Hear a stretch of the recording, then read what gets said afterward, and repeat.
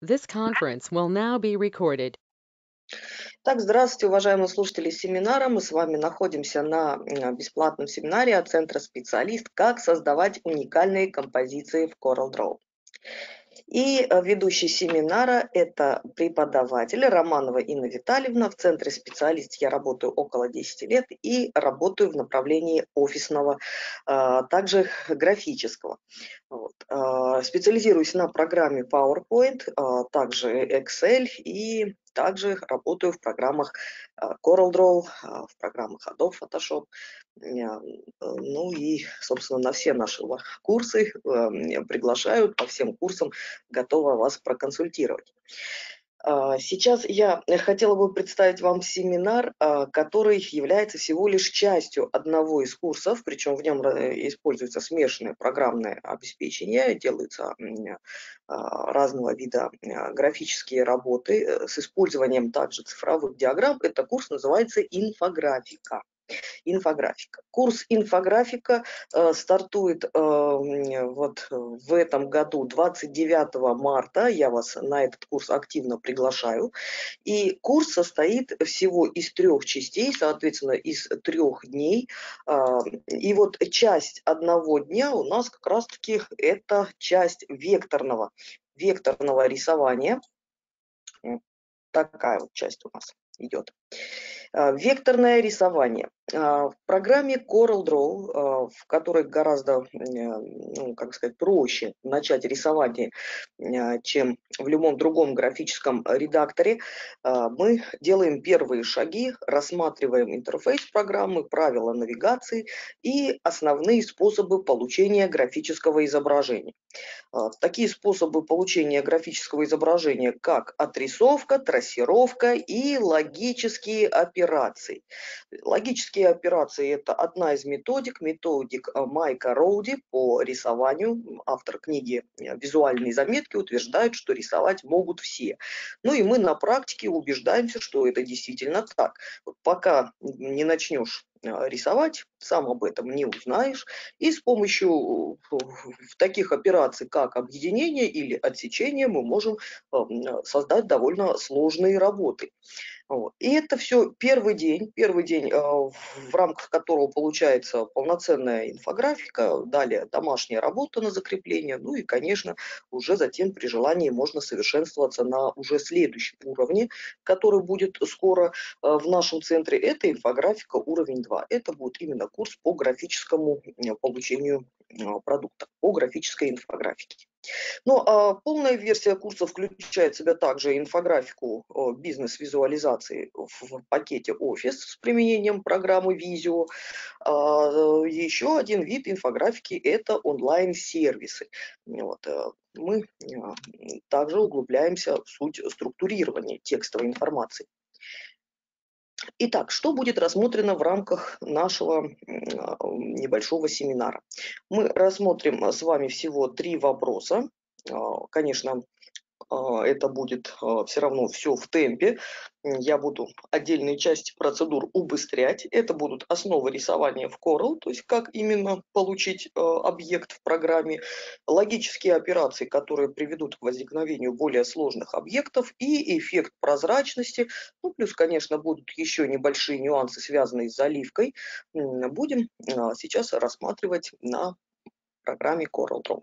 Конечно, программа, если вы хотите сразу же немедленно что-то пробовать, должна быть у вас уже установлена. А, Бесплатная 15-дневная а, версия предлагается для скачивания на официальном сайте.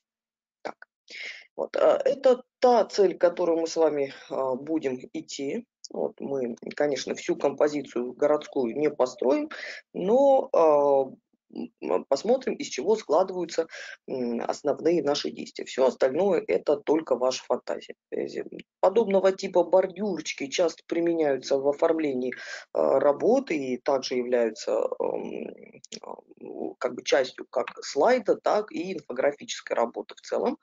Но здесь вот я пошла путем комплексной картины. И логические операции, как один из видов рисования, мы рассмотрим в программе Corel, э, такие э, как есть здесь вот у нас э, примерчик такой, как наложение объектов друг на друга произошло с равными интервалами, затем применена логическая операция, ну и вот, как вы видите, здесь объекты верхние пропали. А, мы обнаружили только нижний объект под ними а, с прозрачными местами, в тех местах, где находились синие объекты. И такие операции, как объединение, нагромождение объектов друг на друга привело к тому, что мы в итоге получили с вами объект, который э, сливается, сливается в единое целое, и уже если представить себе, что он является частью чего-то большего, мы с вами уже можем получить путем следующей процедуры слияния еще более сложный объект. То есть вот что такое э, векторное рисование. То есть не, не то рисование в классическом смысле, как мы представляем себе художника э, с кистью, красками, а скорее это процедуры логического характера, именно вот лучше и не скажешь, пожалуй, логические операции. Так, ну и э, парочку э, сделаем с вами приемов э, заливкой. Если будет интересно, конечно, мы познакомимся с таким инструментом, как интерактивная заливка, и будем получать уже такой вот комплексный объект, плюс еще и немножечко с прозрачностью поработаем. То есть вот такой у нас с вами план. План на эти буквально полчасика. Вот. Итак, уважаемые слушатели семинара, я запускаю, запускаю программу, программу CorelDRAW. Программа CorelDRAW запущена. Так, при запуске программы у вас создается чистый белый лист, чистое белое пространство. Если э, при запуске программы у вас э, лист не создается, сделать это можно вот таким плюсиком. Плюсик. Ну а затем документы у вас э, в Corel организуются во вкладках, подобно тому, как организуются они во вкладках, ну, скажем, в веб-браузере. Вот. Каждый по отдельности документ у вас закрывается, создается, сохраняется через меню «Файл». Программка довольно простенько выглядит, программка рисовалка. Так, страницы в документе создаются в нижней части. Вот хорошая аналогия, скажем, с программой Excel, если работаете в пакете Office. Также плюсиком и контекстное управление каждой страницы правой клавишей мыши. Но это нам так не особенно понадобится, я просто описываю то, что есть у меня на экране. А, в целом пространство программы состоит у вас из панели инструментов, панель инструментов, которая находится слева и представляет из себя перечень как инструментов рисования, так и инструментов воздействия. Есть инструменты, такие как а, трансформаторы, обрезка, ну и самый верхний инструмент, инструмент указатель, должен быть активен большую часть времени, если вы э, хотите выполнить э, с вашими объектами такие задачи, как перемещение, уменьшение, ну, либо просто выбор объекта для последующей процедуры упорядочивания или уничтожения. Это инструмент указатель. указатель. Так, в правой части экрана вы найдете панель цвета панель цвета. Ну, а также могут быть открыты дополнительные докер-окна, они открываются и закрываются через, э, соответственно, вот такой вот крестик. Эм, закрыть крестик позволяет вам их закрыть, а вот открыть э, дополнительные панели вы можете как через главное меню. Ну, наверное, проще сейчас через главное меню показать. Главное меню под названием «Окно» и команда «Окна настройки». «Окна настройки».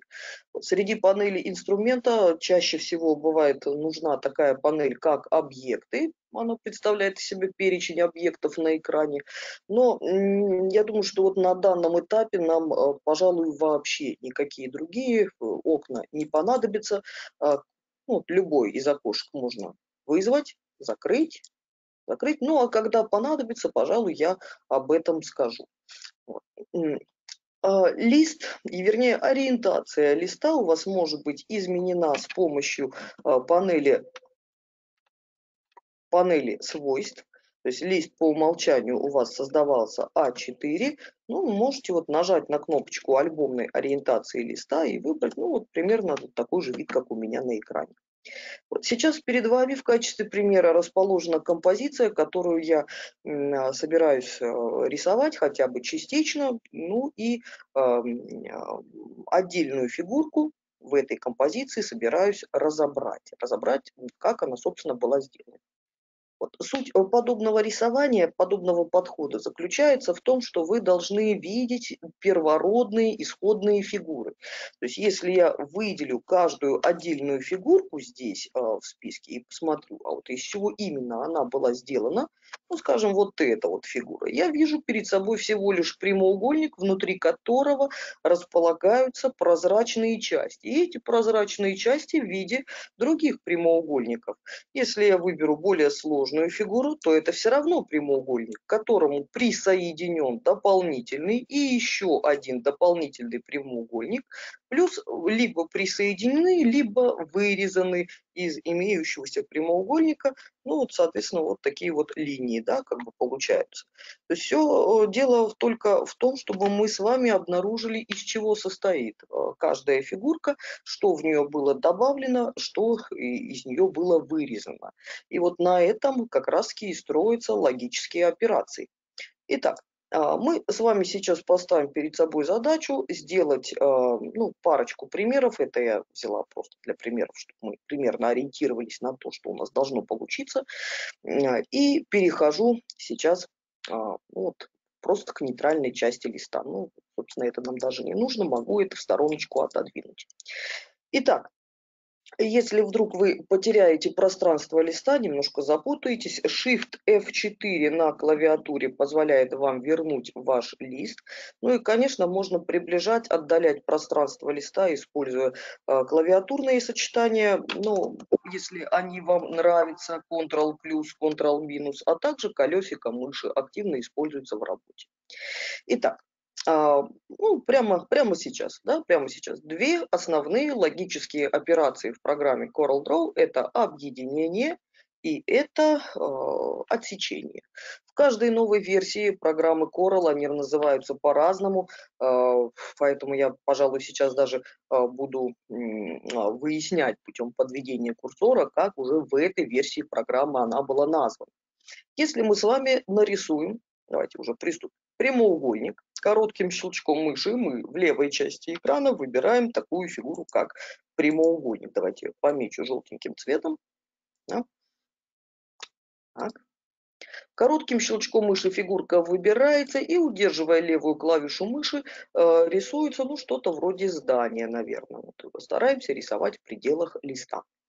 Вот. Нажатием на пробел рекомендую деактивировать инструмент рисования, так, чтобы он превратился в инструмент выбора, то есть клавиша пробела всего лишь переводит инструмент из состояния рисования э, в состояние управления.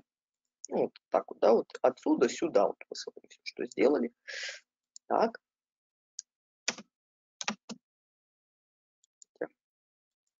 Вот так.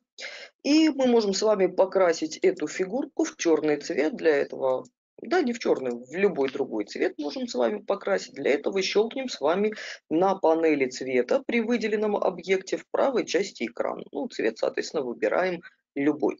Ну, любой цвет, ну, куда-нибудь вот сюда, да, надо щелкнуть. Так, что-нибудь вот здесь вот цвет у нас располагается. Итак, прямоугольник готов. Клавишей F а, даже э, не обязательно, наверное, вас сейчас мучить различными клавишами ну, э, даже, не знаю, мучить, не мучить, а, вот, Shift F2 у меня рука потянулась, нажать так, чтобы именно выделенный объект приблизить. Но подчеркиваю, да, что это не обязательно, вы можете действовать просто колесико мыши. Так, и далее я собираюсь нарисовать здесь э, окошки, ну, причем мне интересует в итоге эффект прозрачности. И я активирую снова фигуру прямоугольника и рисую небольшое окошко, покрашу его в другой цвет, так, чтобы было заметно, там красный, например. Так. И вот окошко у меня сейчас наверху. То есть вот для простоты я сейчас буду работать с равными э, по размеру объектами, не буду создавать там сложные комбинации. Мне нужно создать дубликат этого окна. В этой программе вы можете использовать довольно старые приемы, ну, известные вам, такие как Ctrl-C, Ctrl-V. Не возбраняется. Конечно, вы получите копию объекта. Но раз уж мы с вами в программе Coral, э, надо сделать все-таки что-то особенное, я думаю. И вот на этом этапе мне понадобится специальное докер-окно. Те самые докеры, которые были доступны ранее в правой части экрана, и на ваших глазах я их закрывала. Да? Вот окна, которые были образованы вот здесь вот справа. Этот докер я могу вызвать командой окно, окна, настройки. И далее выбираю э, так, что-нибудь э, из преобразовать, пожалуй, да, из этой вот песни. Alt F7, быстрая комбинация клавиш. Преобразовать. Так, наблюдаю перед собой следующее, следующую область по работе. А, мне требуется создать копию объекта, которую я хочу контролировать, поэтому в поле копии я поставлю единицу. Я собираюсь получать копии с шагом вправо и указываю направление, направление вправо. Если я нажму на команду «Применить» при таком раскладе, то у меня получается объект, который будет идеально рядышком стоять с моим э, объектом оригиналом. Отменяю действие назад. Мне все-таки хотелось бы задать небольшой промежуток. Поэтому расстояние x, которое сейчас равно размеру моего объекта, я собираюсь немного увеличить.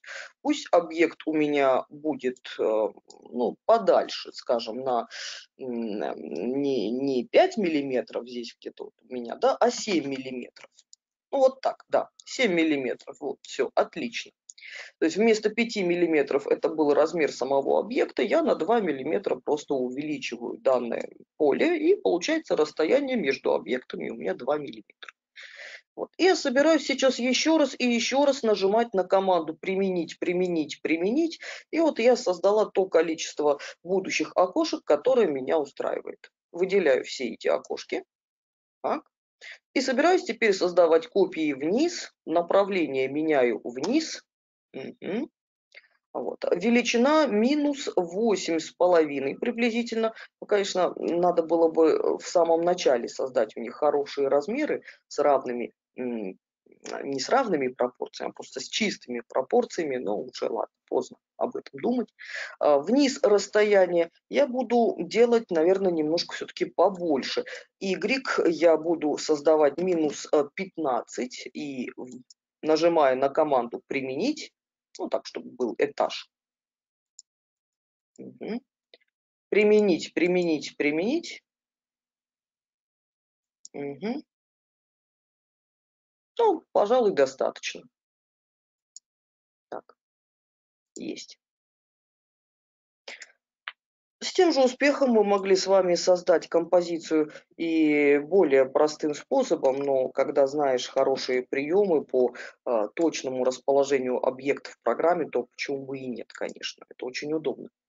А, чтобы окошки были ровненько посередине а, расположены а, были моей, ну, моей основы, я могу временно их выделить и сгруппировать комбинацией клавиш Ctrl-G на клавиатуре от английского слова групп, группа и относительно, относительно основного здания выделяю здание вместе с окошками клавишей C по центру, E посередине выравнивают. Ну, опять-таки, те же самые действия обычно происходят в каких-нибудь простеньких графических редакторах, чуть ли не на глаз или с помощью динамических направляющих. Ну и разгруппировываю. Группировка мне здесь не нужна. Так. Итак, а, произвожу выделение, произвожу выделение, ну и что мы с вами имеем сейчас на руках? У меня на заднем плане расположена основная фигура. Основная фигура на заднем плане. На переднем плане расположены объекты, разгруппированные, независимые. И как мы их с вами именно сделали, очень аккуратно, ровно, на глаз, со средствами повышенной точности или обошлись только линейкой и сеткой, это не имеет значения. Самое главное, на этом этапе мы с вами производим выделение объектов на заднем плане и на переднем плане тоже. То есть выделяем с вами всю композицию от и до. И только в том случае, если у нас выделены объекты, мы с вами будем наблюдать следующие операции. Следующие операции, операции, которые появляются у вас на панели свойств, это и есть операции, э, которые называют логическими. Во всех программах, э, ну, даже в таком редакторе, как PowerPoint они называются операции логические. Вот. Список этих операций вы можете также найти в меню «Объект», «Формирование», и операции здесь будут представлены также. А, среди операций вы найдете такие операции, как слияние, но это сейчас не будет иметь смысла, поскольку а, операция по слиянию создает формы перетекающие друг к другу без границы, и как раз они нужны для того, чтобы объединять сложные построения друг с другом, сливать их друг с другом. Есть операции исключения, когда нам нужно по принципу трафарета, чтобы один объект надавил на другой объект. А, в принципе, эта операция нам сейчас подошла бы, но минусом такой процедуры является то, что мне потом нужно как бы все это разводить в разные стороны. Вот я бы хотела бы этого сейчас избежать. А вот. Операция по пересечению сейчас не имеет смысла, она тоже для создания сложных композиций нужна. Ну и операция упрощения, которая а, также создает принцип трафарета, ну, то есть одних операций, которые отрезают их несколько. Вот. Сейчас хотелось бы применить а, ту процедуру, которая была бы удобнее всего. Это процедура, при которой красные вот эти окошки у меня просто выполнив свою задачу исчезнут, исчезнут. Вот таких операций всего две. Это передние минус задние, так забавно называется, и задние минус передние. Вот. Если я нажму на передние минус задние, у меня здесь, ага, что-то здесь, сори, потеряла выделение. Давайте заново выделю. А, передние минус задние у меня ничего не меняется, ничего не меняется. Угу, все верно все верно. А если нажму на команду задний минус передний, я как раз таки достигаю того самого эффекта, который мне был нужен. То есть э, всего 4 аж операции, которые ведут к эффекту трафарета, к эффекту вырубки, к эффекту отрезания. И а, совсем не обязательно было применять именно ее. Вот как вы видите, и даже я а, здесь а, в какой-то момент даже а, запуталась, что, что нажимать, передний минус задний или задний, франт минус бэк или бэк минус франт. Ну, вот, в какой-то момент информация может просто запомниться, а если нет, то ничего страшного. Не заработает одно, заработает другое. В данном случае задний минус передний. Back минус франт. Но если бы даже я нажала бы операцию исключения, самую простую операцию, этого было бы достаточно, но операция исключения привела бы к тому, что мне пришлось бы просто фигурку а, в сторону вот так вот оттаскивать, а вот эти штуки просто удалять самостоятельно. Так что не обязательно, не обязательно было действовать именно через команду задний минус передний, можно было бы пойти операции обычного исключения.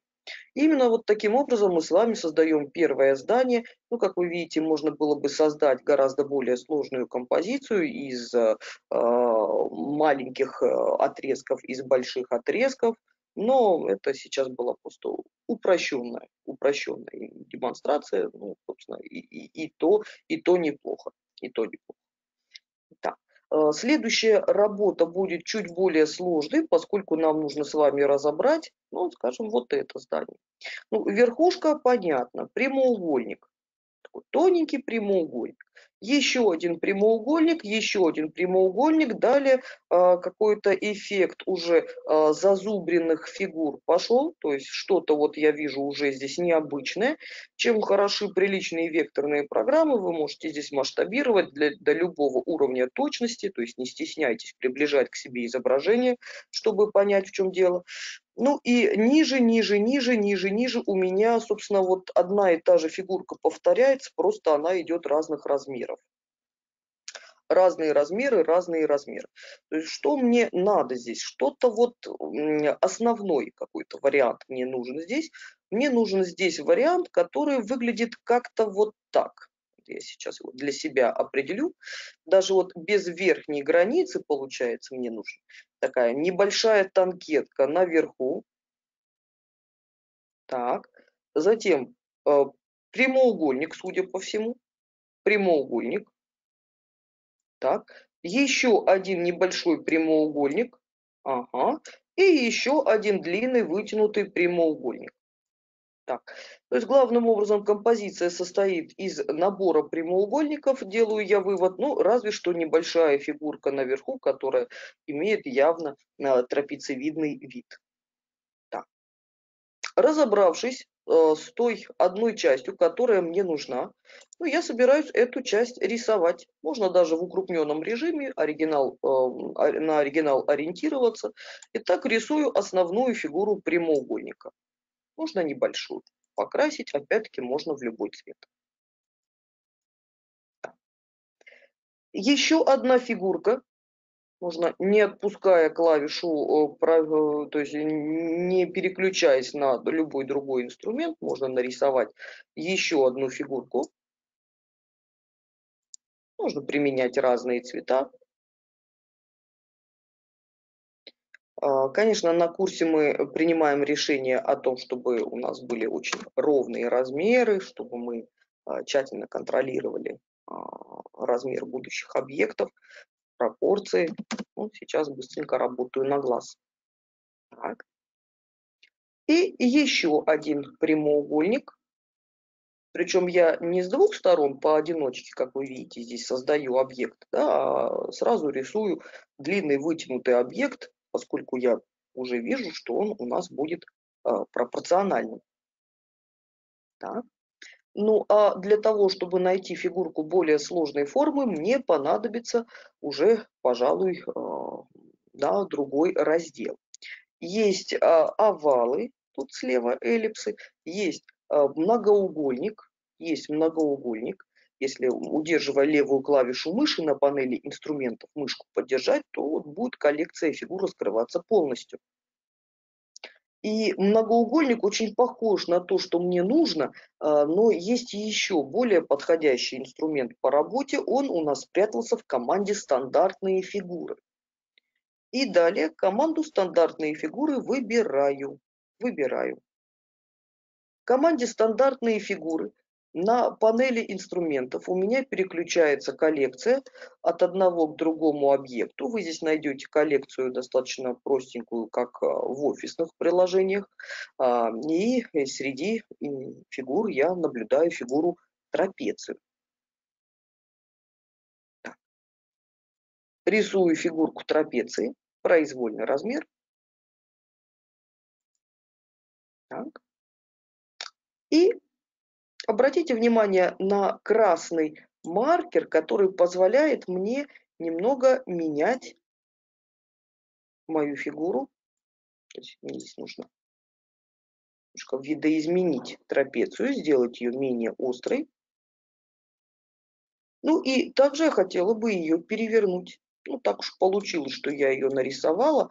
А, ну, она, а, она в любом случае у меня рисуется так, как рисуется. Неудачные фигурки я уничтожу клавиши Delete на клавиатуре, а вот к данной фигуре я принимаю решение о том, что мне надо ее перевернуть. Переворот фигуры горизонтальный, можно далеко никуда не идти, вернее, простите, вертикальный. Вертикальное отражение я нахожу непосредственно на панели э, свойств. Отразить по вертикали. Отразить по вертикали. Нажать на фигурку и отразить по вертикали. Ну, конечно, нужно поработать с размерами. Желательно нажать на клавишу пробела, чтобы перейти к инструменту, а, который называется инструмент указатель. Вот на данном этапе я предлагаю пока не мельчить, а вот прям-таки работать с объектами, один объект внутрь другого объекта помещать. Не работайте, э, там, пытаясь сделать соприкосновение объектов друг с другом. Ну, на, на этом этапе желательно, чтобы смысл логических операций, операций был ясен, прям как одну фигурку на другую фигурку накладывать. Вот. Желательно разве что выравнивание сделать. Выравнивание, чтобы было все ровненько по горизонтальному центру, это выделить все фигурки и нажать на клавишу C на клавиатуре от слова «центр». Так у нас все хорошо получится.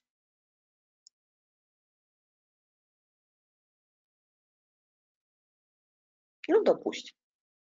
И одна единственная операция, если команд по отсечению много, то команда, которая будет заниматься слиянием, их меньше. Команда слияние, мы обнаружим ее э, на панели э, свойств, когда произведем выделение всех этих простеньких объектов, нажимаем. Вот что мы получили. Ну, от контура обычно принято избавляться э, в, в итоговых уже работах. Без контура будет смотреться все это более аккуратным образом. Если где-то у нас слишком получились какие-то длинные края, все это дорабатывается в режиме работы с кривыми. Ну, а в целом предполагается, что подобную пирамидку уже э, очень, очень несложно сделать. То есть командами Ctrl-C, Ctrl-V или Ctrl-D на клавиатуре вы можете создать а, нужное количество копий подобного объекта. Ну, если требуется уже, соответственно, увеличивать эти копии, все они будут уже немножко больше, больше, больше. Вот. Ну, есть, да, похоже немножко. А, да, работа э, носит несколько кропотливый характер, но Э, Все зависит от сложности вашей будущей композиции, насколько сложным вы сделаете ваше будущее здание. Можно даже взять что-то реальное за основу, но э, начинается все с малого, начинается все с самых простеньких фигурок, такие как прямоугольники, трапеции, ну и, конечно, я думаю, что вот этого комплекта фигур более чем достаточно, чтобы создать фигуру любой сложности наслаивать фигуры друг на друга, ну а затем принимать решение. Решение об отсечении или решение о а, слиянии подобных объектов друг с другом. Ну, даже вот уже вот здесь вот что-то выровню. Добавлю еще один прямоугольничек. Еще один прямоугольничек. Еще один прямоугольничек.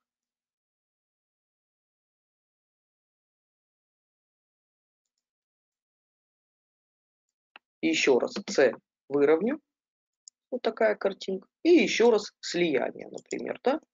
Ну, вот она, собственно, верхушка уже готова. На все на это может уйти не так много времени при подходящем навыке. Все делается в течение там,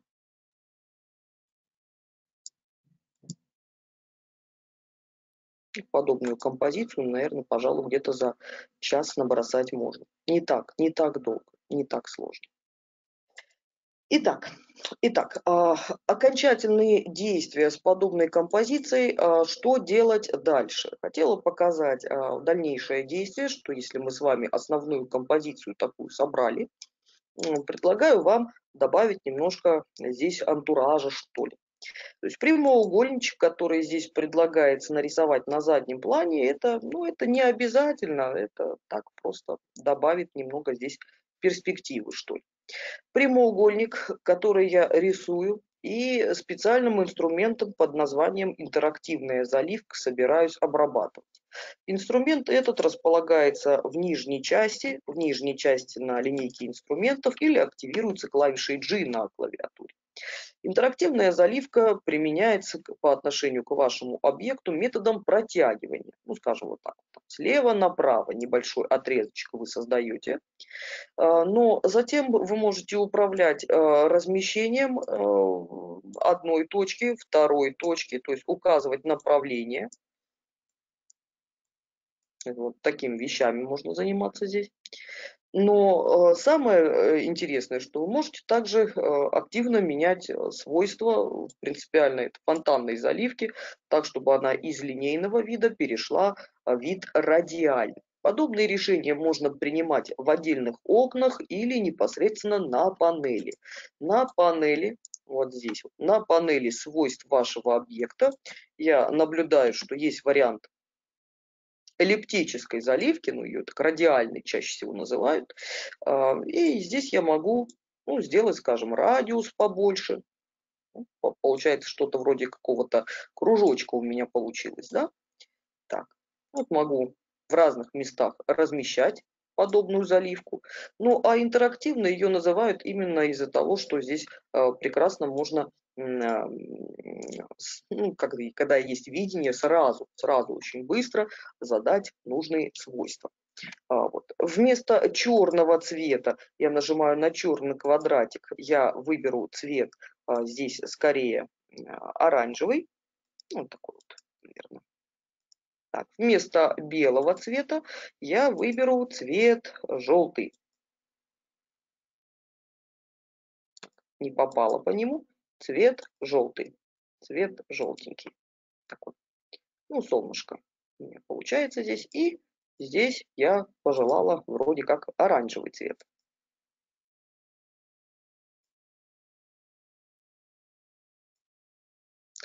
Вы можете создавать также большее количество точек, делая двойной щелчок по линии перетекания. Ну, это уже так по вкусу получается. Здесь хотелось бы цвет сделать еще более светлый.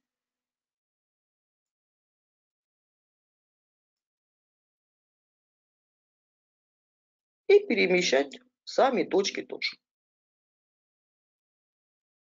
Круг в результате этой работы я буду перемещать на задний план. Изменение порядка объекта происходит, помимо всего прочего, с помощью правой клавиши мыши и команды э, «Порядок». Команда «Порядок» и на задний план страницы. Вообще обычно предпочитаю горячие клавиши на клавиатуре. Так. Эллипс можно здесь и, в общем-то, не рисовать. Это будет солнышко, которое мне требуется сделать ну, таким вот почти белым цветом. Применить э, к нему, применять к нему радиальную заливку я, пожалуй, не буду. Я просто возьму а, какой-нибудь подходящий цвет на панели цвета вот здесь. Ну, такой совсем-совсем светленький вариант. И уберу контур Контур убирается у нас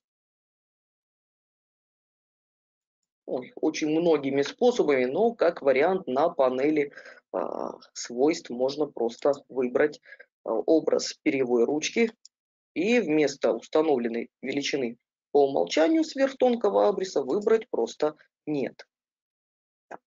Когда у вас уже три объекта занимают одну точку пространства, считается, что уже управлять порядком немножко сложно, но, собственно, можете просто здание на передний план э, переместить, а вообще уже на этом этапе пора подключать специальный докер под названием объекты. В нем решение принимать э, проще, поскольку там уже будет все более прозрачным.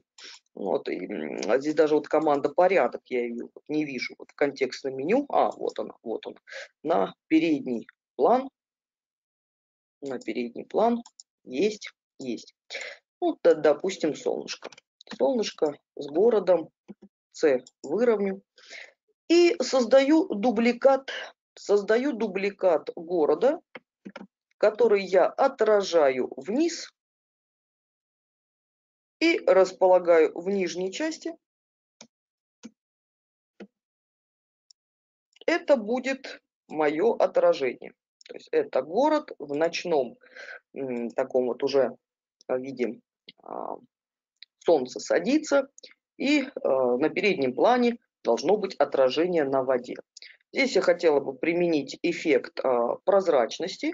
И такой эффект прозрачности выполняет массу интереснейших задач в программе Coral. И даже иногда кажется, что применено что-то вроде а, искажения растрового типа, но на самом деле это всего лишь прозрачность с разными эффектами наложения. Я сейчас э, буду, не буду использовать никакие режимы смешивания, всего лишь выберу э, хорошую фактуру, которая будет напоминать рябь на воде. Это прозрачность. Прозрачность как эффект на панели инструментов расположен отдельной командой в нижней части, третья команда снизу. Нажимаю. Так. Прозрачность э, регулируется также на панели свойств. Вот. Есть несколько вариантов отсутствия прозрачности как таковой и далее. Однородная заливка, перетекание, ну и множество здесь вот различных есть э, вариантов того, как можно наложить прозрачность. Вот очень похоже на э, работу с заливкой. Так, однородная прозрачность – это скучно, но можно сделать также есть фонтанная э, прозрачность, э, прозрачность, связанная с перетеканием. Здесь видно, здесь не видно. И вот четыре варианта прозрачности, которые могут быть классифицированы как узорные, узорные варианты. Это прозрачность раз, прозрачность два, прозрачность три. Вот, пожалуй, вот я возьму последний вариант.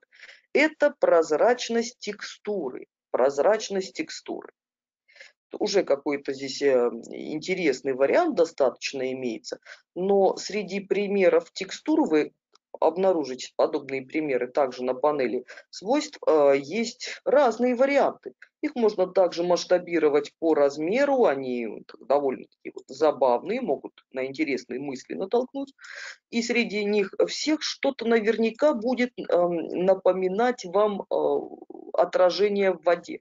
Ну, даже вот этот вроде как бы вариант неплохой, но я искала, искала другой, другой вариант. Вот пох, похоже на тот, который был мне нужен. Немножко мрачно, но, ну, наверное, вот на этом остановлюсь, как на э, самом, наверное, популярном. Вы можете также менять размер узора путем растягивания управляющего маркера. Можете этот узор наклонять, но это вряд ли, здесь наклонять его не нужно. И, и перемещать. Ну, перемещение вот также ничего не даст здесь, поскольку узор довольно однородный. Так. А, я думаю, что стоит нарисовать еще один э, прямоугольник э, в виде края, который что-то вроде тонкой-тонкой береговой линии закроет мне а, шов. Хотя здесь уже речь идет, пожалуй, о а, просто художественной э, ценности. Да. То есть здесь уже все зависит от вашего видения. Можно всю композицию выделить, немножко выровнять, ну и сделать нечто подобное. Солнце заходит, хочется также применить э, к зданию а, небольшой эффект в виде окрашивания. Окрашивание через э, фонтанную заливку. Сделаю снова инструментом интерактивную заливку. Хочется немножечко такого перетекания из черного а, в более светлое состояние. Вот растягиваю сейчас инструмент интерактивная заливка непосредственно на здании здание. Так, но мне, конечно, потребуются совсем другие цвета здесь. А, линейный вариант, все правильно. Нижний а, прямоугольник у меня будет черного цвета.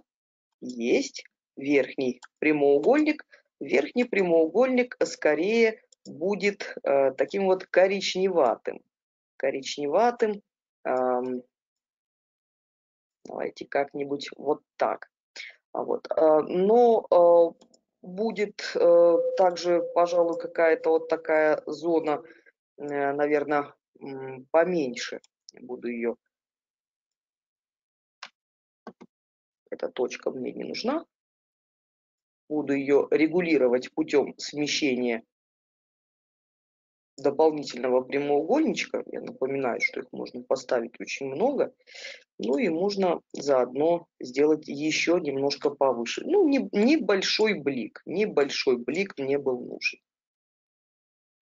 Так, расположу повыше и все на этом.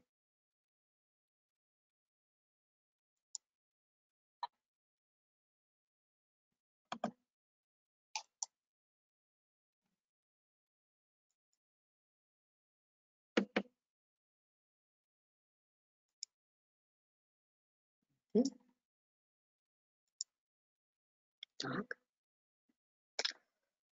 Ну что ж, э, уважаемые слушатели, сегодня мы рассмотрели крохотную часть курса о том, как можно создавать уникальные композиции. Ну а зачем вообще создавать уникальные композиции в программе Corel, я отмечу, что э, не всегда нужный комплект иллюстраций оказывается под рукой.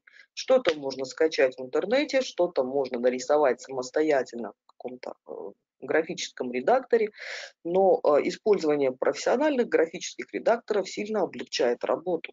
И дело только за тем, чтобы автоматизировать свои действия, инструменты, которые вы осваиваете, нужно только немножко потренировать.